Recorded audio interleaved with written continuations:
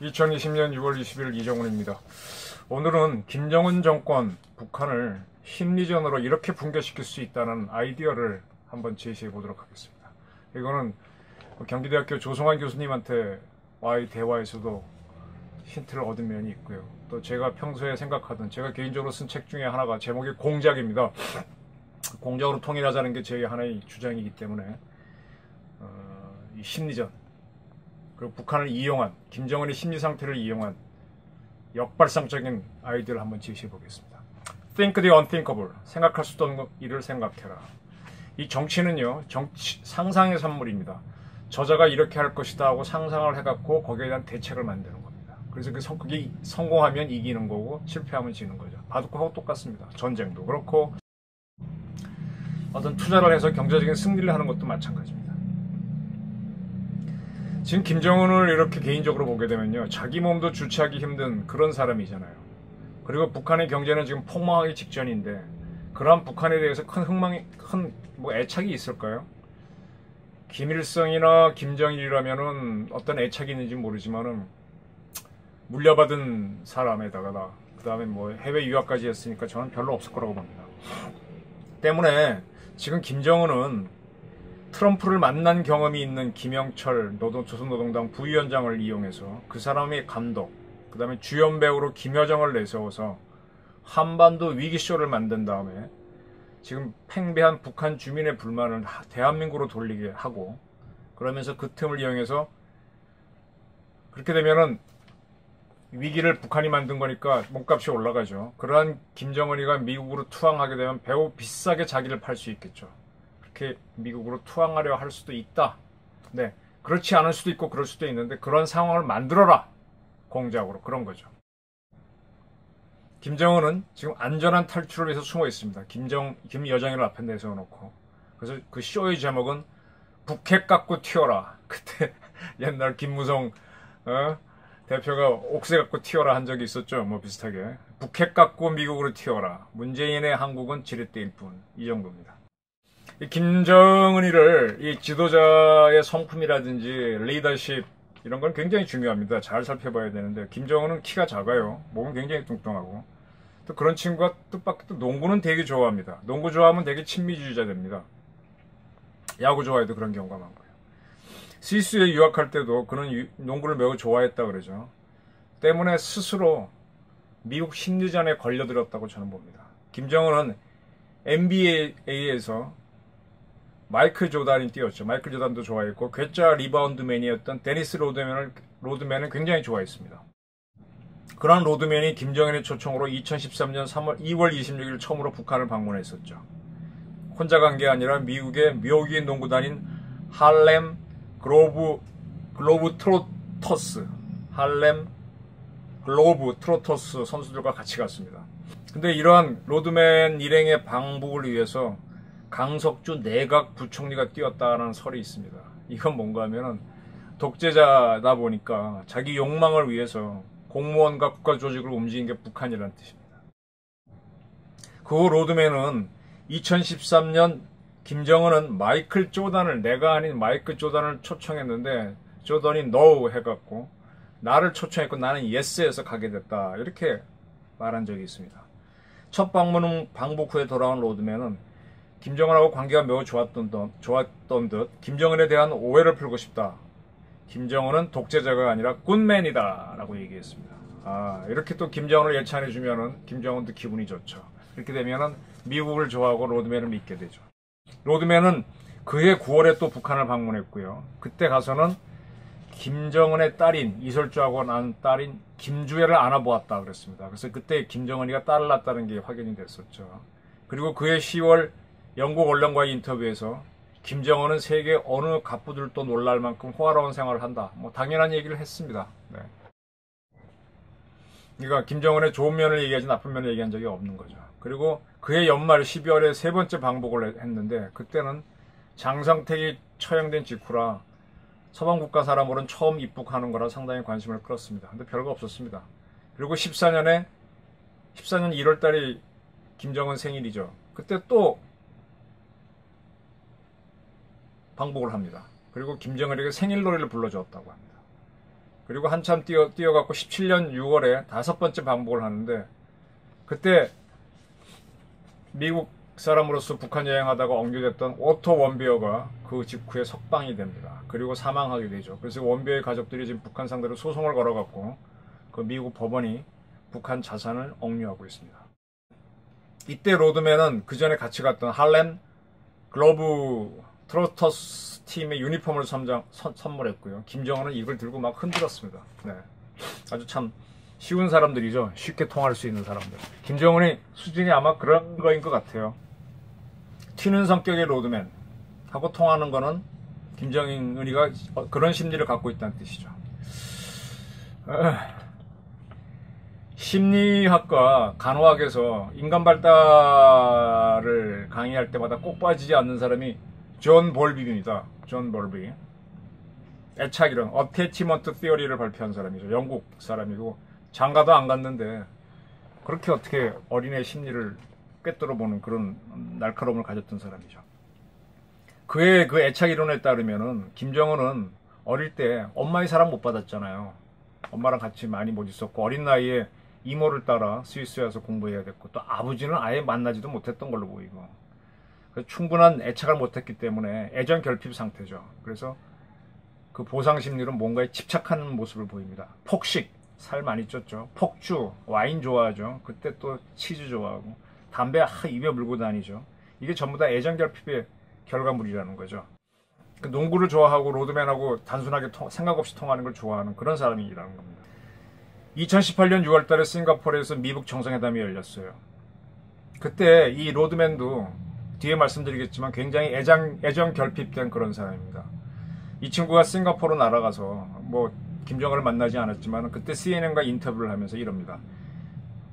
과거에 내가 김정은과 트럼프는 만날 것이다 라고 주장했는데 아무도 믿어주지 않았다 비웃었다라고 눈물을 흘렸어요. 아 이렇게 로드맨도 단순한 사람이죠. 그러니까 김정은하고 친해지는 겁니다. 김정은의 수준이 그런 그런 거랍니다. 그런 수준이라는 겁니다. 로드맨은 다섯 살 때 그의 아버지가 로드맨과를 포함한 가족들을 버리고 가버렸습니다 이 로드맨의 아버지는 부인이 4명 자식만 27을 낳았고 로드맨이 그 중에 맏이였던 모양입니다. 그러니까 로드맨은 아버지가 또 집을 나갔으니까 다른 여자를 만나니까 계모를 만나게 된 거죠. 그랬던 것 같아요. 그래서 어머니한테 쫓겨나가지고 계모인 것 같아요. 노숙 생활을 꽤 오래 했다 이렇게 주장을 하고 있습니다. 어머니는 다시는 돌아오지 말라 하면서 자물쇠까지 바꿔버렸다고 했고요. 그래서 친구 집 뒷마당에 있는 소파에서 노숙 생활을 하며 세차 알바를 하고 빈병 주었다. 그래서 먹고 살았다. 그러다가 농구에서 발군의 실력을 발휘했다는 겁니다. 전형적인 애착 부족형 인물이죠. 이런 로드맨이 트럼프의 광팬입니다. 흑인들은 대체로 안 좋아하는데 몇 안 되는 트럼프 지지하는 흑인이에요.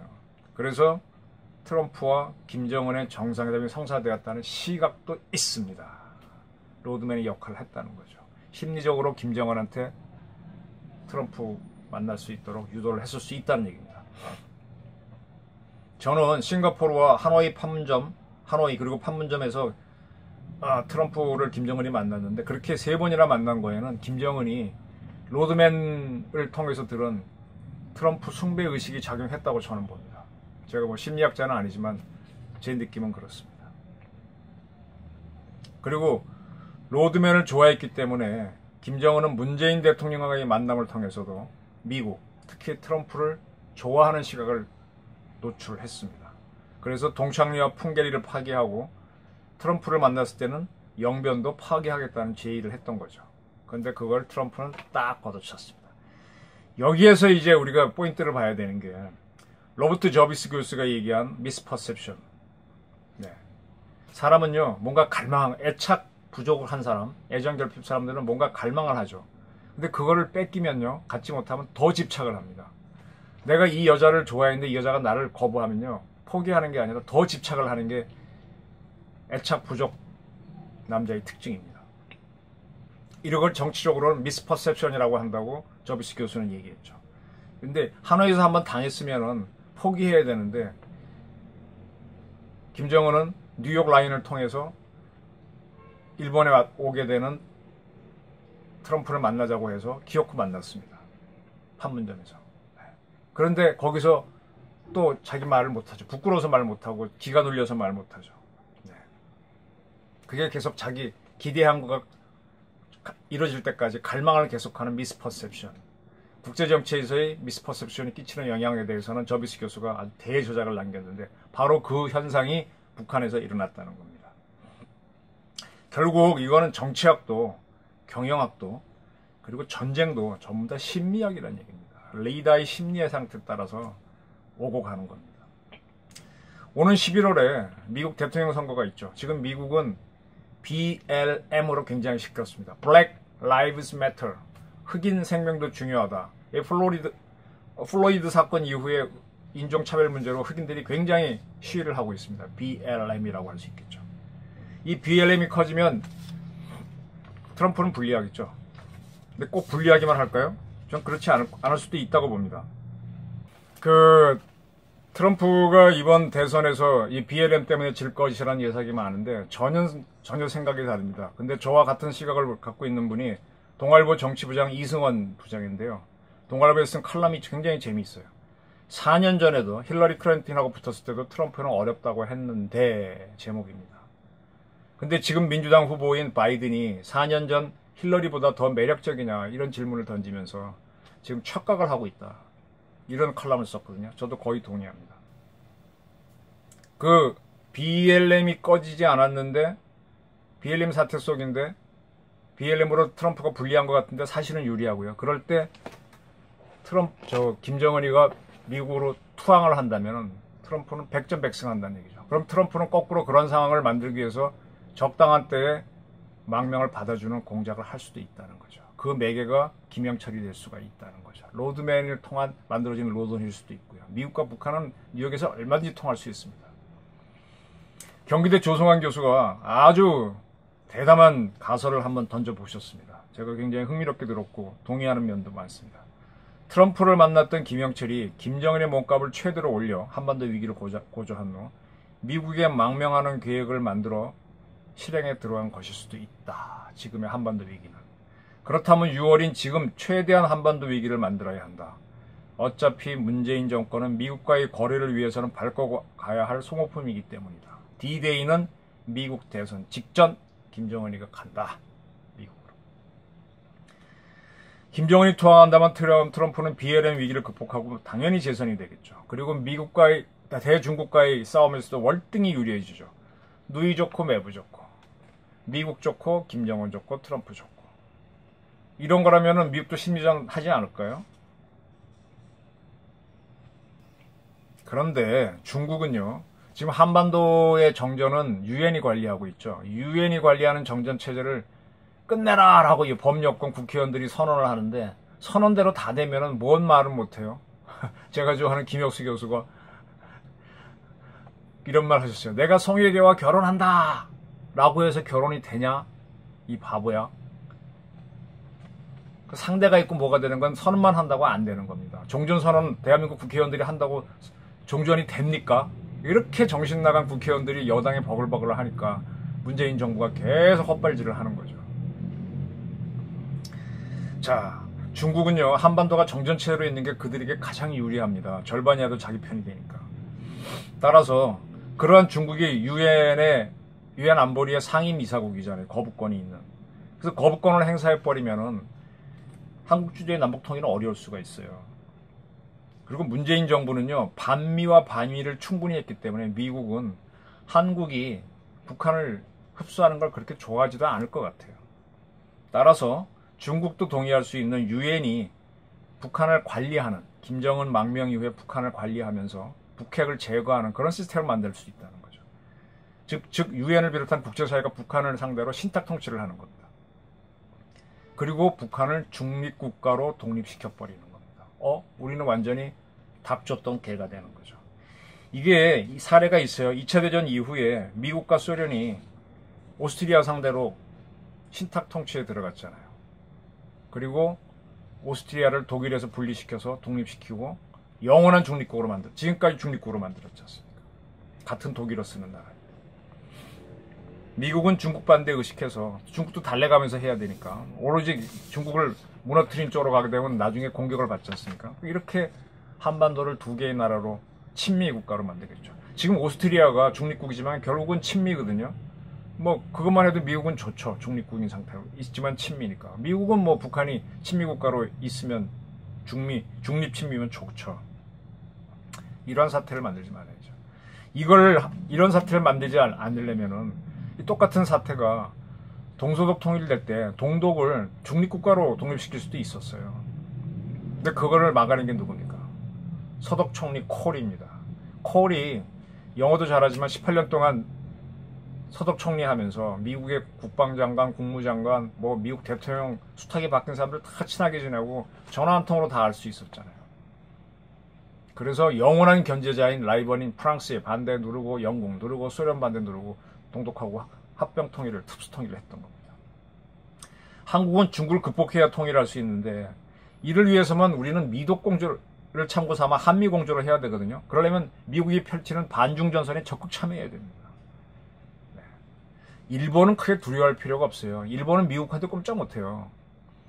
그리고 이미 아베 총리는요. 2013년 13년 4월 월간 조선에 보게 되면 조갑재 전 편집장과 인터뷰에 있는데 한국이 한국 주도로 평화적으로 통일되는 걸 찬성한다. 한국 주도의 통일을 찬성한다고 이미 이야기했습니다. 아베 총리. 그 자세히 읽어보면 그렇게 되어 있습니다. 중국이 북한을 한국에 합병하는데 반대하지 못하게 하려면 우리는 강력한 한미동맹을 만들어야 합니다. 오직 미국만이 중국의 반발을 누를 수 있기 때문입니다. 그래서 중국을 더 큰 위기로 빠뜨려서 한반도 문제에 소리를 못 내게 만들어야 되는데 이거를 문재인 정부가 적극적으로 하지 않고 오히려 반미 라인에 섰다가 어정쩡하게 지금 다 친밀 라인으로 들어가고 있는 상황입니다. 문제는 문재인 정부의 친중 반미를 외치는 주사파가 너무 많다는 겁니다. 때문에 통일할 수 있는 천재 이루의 기후를 놓치고 있는지도 몰라요. 김정은은 미국으로 가버리고 이 좋은 기회를. 이 제가 이 역사 공부를 하다 보니까 이 심리전으로 승리를 한 게 대표적인 사례가 당나라가 우리로서는 참 뼈아픈 패배이지만은 고구려를 무너뜨릴 때 바로 심리전으로 하더만요. 고구려는요, 수나라와 오랜 전쟁을 해서 승리는 했지만 타격이 컸잖아요. 그리고 당나라가 다시 압박을 가하니까 이미 심리적으로 지고 들어갑니다. 그 수나라와의 전쟁에서 사로잡은 포로를 1만여 명을 노예로 썼는데 당나라가 그 돌려보내줘 하니까 돌려보냅니다. 오토 웬비어 돌려보내니까 돌려보냅니다. 케네스 케네스 배 돌려보내니까 돌려보냈죠. 미, 미국에 북한도. 그 다음에 고구려의 정밀한 지도인 봉역도를 바쳐 그러니까 당나라에 바칩니다. 628년에. 지금 뭐 김정은이는 알아서 풍계리 동창리도 파괴하고 영변도 내놓겠다. 물론 뭐 다 쓸모없는 것들이긴 하지만 알아서 기는 모습을 보였거든요. 그리고 고구려는 수나라와의 전쟁에서 이겨, 이기고 난 다음에 죽은 수나라 병사들의 유골로 만든 경관이라고 한 탑이 있었던 가 탑으로 보입니다. 뭐 무덤인지 모르겠는데 그런 경관을 허물어라 당이 압력을 가하니까 허무입니다. 지금 김정은 가만히 보게 되면 트럼프가 하는 대로 질질 끌려오지 않았던가요? 그리고 당나라의 공격이 시작되자 바로 심리전에 말려듭니다. 삼국사기 보정왕 13년, 13년 조에 보게 되면요. 어떤 사람이 말하기를 말고기 위에서 신령한 사람을 만나는데 그 신령한 사람이 너희 임금, 고구려의 임금이죠. 과신하들이 사치스럽게 한이 없으니 패망할 날이 며칠 남지 않았도다. 라고 하였다. 이런 말이 퍼졌답니다. 지금 김정은 후지모리의 아들이다 이런 식으로 온갖 김정은이 망할 소문들이 펄 퍼지고 있습니다. 고구려가 무너진 668년 보정한 27년에는 그 중요한 성 중에 하나인 부여성을 무너뜨립니다. 그리고 부여성과 더불어 그 부여천 옆에 있던 42개의 성이 한꺼번에 당나라에 투항합니다. 그때 이제 그 싸움을 이끌었던 게 이적이라고 하는 장수입니다. 당나라에. 그 승리를 보고하는데 당나라 고종한테 그 보고하는 사람이 이런 보고를 합니다. 고구려 비기에 그런 책이 있었던 모이에요. 있었던 모양이에요. 고구려가 900년이 되기 전에 80대장이 와서 멸망시킬 것이다라는 내용이 있는데 고씨, 이 고씨는 고구려입니다. 한나라 때로부터 나라를 세워 지금 900년에 이르렀고 지금 고구려를 공격하는 이적이 나이 80입니다. 라고 보고를 합니다. 네. 이 고구려는 750년 만에 망했는데 그 앞에 있었던 부여도 고구려로 보는 모양이에요. 그래서 그렇게 하면 900년 가까이 되죠. 네. 그래서 이 80대 장이 와서 무너진다라고 하는 소문이 있었는데 실제로 지금 이적이 왔다 그런 얘기입니다. 당나라는요 660년에 단 몇 달의 전투로 백제를 무너뜨립니다. 그때 백제를 무너뜨린 당나라의 장수가 소정방입니다. 그러한 소정방을 불러들여서 고구려를 치게 합니다. 그래서 고, 소정방은 평양성을 포위해 버립니다. 이적은 그 전에는 이세적으로 불렸는데 이적은 고구려 전쟁에 참여해서 잘 싸웠어요. 근데 또 저 서역 돌궐과의 전투도 필요했기 때문에 또 글로도 보냅니다. 소정방은 고구려 전쟁에 투입하게 되고 그런데 80대장이 와야 이긴다는 그런 설이 이용하기 위해서 다시 이적을 불러들이고 소정방을 뺍니다. 그 이적이 딱 와가지고 성을 둘러싸거든요. 그러니까 그 안에 있던 어, 그때는 이제 엘리트가 유학이 없을 때니까 중들이거든요. 신성이라고 하는 중이 글도 알고 당나라 사람하고 얘기를 하면 한자로 얘기해야 될 거 아닙니까? 내통을 해갖고 상문을 열어줍니다. 그래서 고구려가 무너지는 겁니다. 어쩌면 김영철이가 신성일지도 모르죠. 김정은은 김정은의 북한은 연결선문 사후 형제 분란으로 남생이 당나라로 도주한 고구려와 비슷합니다. 지금 뭐 내통하는 사람들이 있을 겁니다. 그리고 우리는 북한이 북한을 심리전으로 몰아틀어야 원수가 되지 않는 통일을 할 수 있거든요. 전쟁으로 북한 사람 많이 죽이고 승리해버리면 원한이 쌓입니다. 지금 6.25 전쟁 때 남북이 서로 많이 죽여갖고 지금도 힘들어하지 않습니까?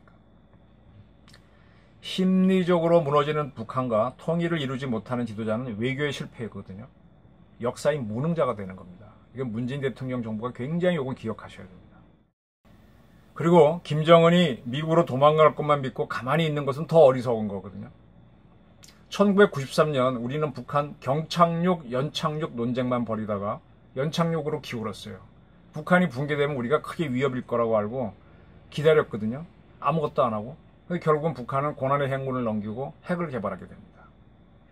우리는 그때 북한이 무너졌을 때 우리가 받을 피해만 걱정하다가 기회를 놓쳤습니다. 큰 착각을 한 거죠.